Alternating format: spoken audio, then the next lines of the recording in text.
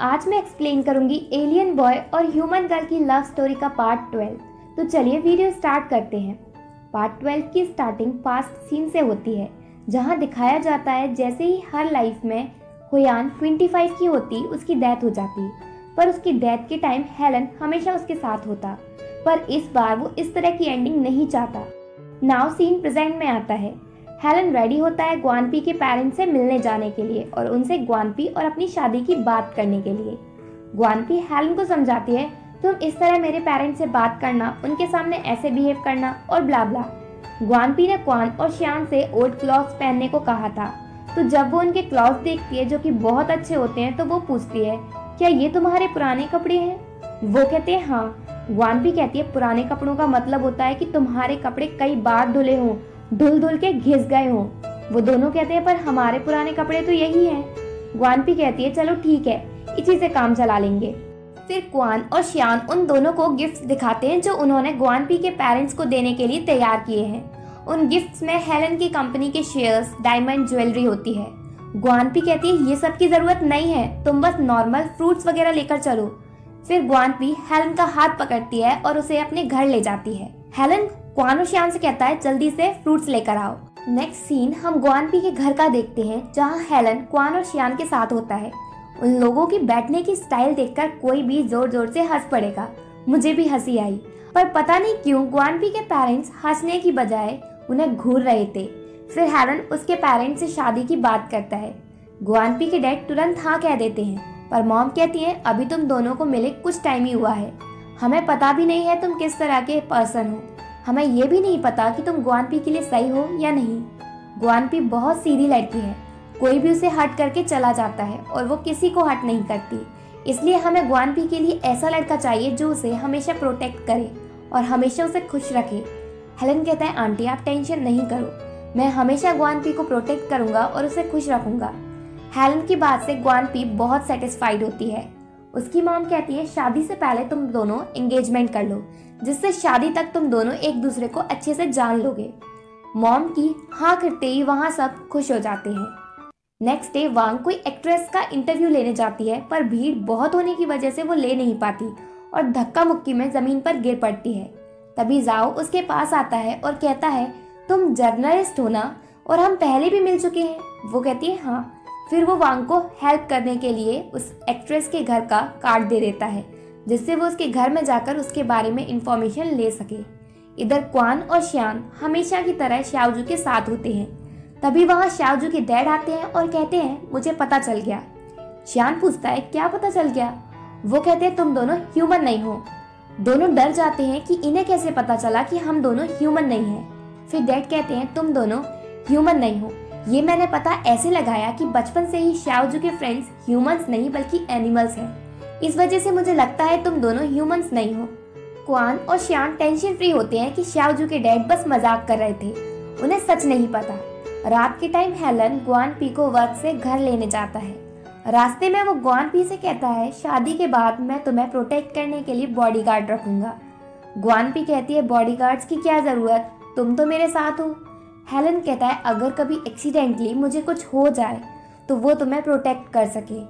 ग्वानपी कहती है, तुम ऐसा नहीं कहो, तुम्हें कुछ नहीं होगा। तुम 900 हंड्रेड ईयर से जी रहे हो। हेलन ग्वानपी को नहीं बताता कि वो ऐसा क्यों बोल रहा है।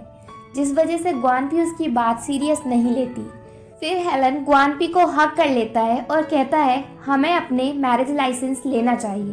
वो पूछती है, कब? हेलन कहता है, अभी। ग्वानपी कहती है, अभी तो लेट हो गया है। पर तुम इतने बेताब क्यों हो रहे हो? वो कहता है, क्योंकि मैं फ्यूचर में कोई रिग्रेट नहीं छोड़ना चाहता। गुआन भी खुश होती है। देन हम वांग को देखते हैं। वो जाओ के साथ सीक्रेटली डेट पर आती है। वो जाओ को बिना बताए अपने बैग में रिकॉर्डर चालू कर लेती है। उसकी बातें रिकॉर्ड करने के लिए। जाओ सबसे पहले उसे नेकलेस गिफ्ट करता है।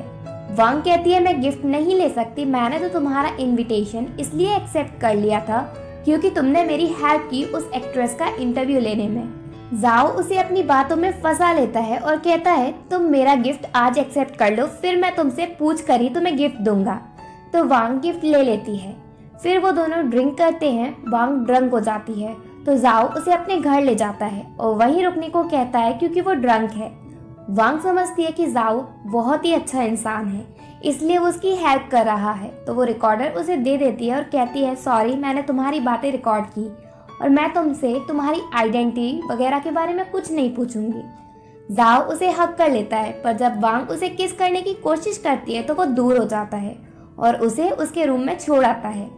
नेक्स्ट डे जब वांग जागती है तो देखती है कि जाओ ने उसके लिए ब्रेकफास्ट बनाया है। जाओ उससे कहता है, मुझे नहीं पता तुम किस तरह की क्लॉथ पहनते हो, इसलिए मैंने तुम्हारे लिए कुछ मंगवाए हैं, जिससे तुम ऑफ़िस जा सको। और कहता है, तुम डरो नहीं, मैं तुम्हें हर्ट नहीं करूँगा। वांग कहती है, मुझे तुम पर ट्रस्ट है। जाओ कहता है, मैं नहीं चाहता कि हमारी रिलेशनशिप की वजह से तुम्हारा वर्क डिस्टर्ब हो, इसलिए मैंने तुम्हारे लिए कोई इन्फॉर्मेशन तैयार की है जो तुम्हें ऑफ़िस में मिल जाएगी। वो कहती है, ठीक है। देन सीन ऑफ़िस का दिखाया जाता है। ग्वानपी ऑफ़िस में ही सोने लगी थी। तभी उसके पास एक लड़की आती है और कहती है, कोई तुमसे मिलने आया है। वो पूछती है, कौन है? वो बताती है, कोई जियालिन तुमसे मिलने आया है। ग्वानपी जियालिन से मिलने जाती है। जियालिन उसे सॉरी कहता है उसके वर्क प्लेस पर मिलने के लिए। ग्वानपी कहती है, कोई बात नहीं। वैसे जो मेरी मॉम ने तुमसे पैसे लिए हैं, वो मैं तुम्हें जल्दी ही वापस दे दूँगी।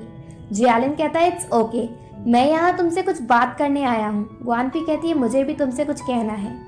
जियालिन कहता है, मुझे श्याजू ने बताया, अब तुम्हारा बॉयफ्रेंड मैं बस थोड़ा वरिड था, क्योंकि पहले क्लब में जब तुम उससे मिली थी तो तुम डर गई थी। ग्वानपी कहती है, वो बस मिसअंडरस्टैंडिंग थी। हेलन बहुत अच्छा है। फिर ग्वानपी पूछती है, तुम्हारे और त्यानशिन के बीच क्या हुआ? जियालिन बताता है, हमारे बीच हमेशा झगड़ा होता रहता है। मुझे समझ नहीं आया कि अमेरिका जाते ही ये सब क्यों हो गया। फिर वो पूछता है, क्या तुम उससे लव करती हो? वो कहती है हाँ मैं हेलन को लव करती हूँ और वो भी मुझे अच्छे से ट्रीट करता है। जियालिन पूछता है, क्या हम अभी भी फ्रेंड्स रह सकते हैं? वो कहती है, तुम मुझे थोड़ा टाइम दो, मैं ये आंसर अभी नहीं दे सकती। और फिर वो जाने लगती है।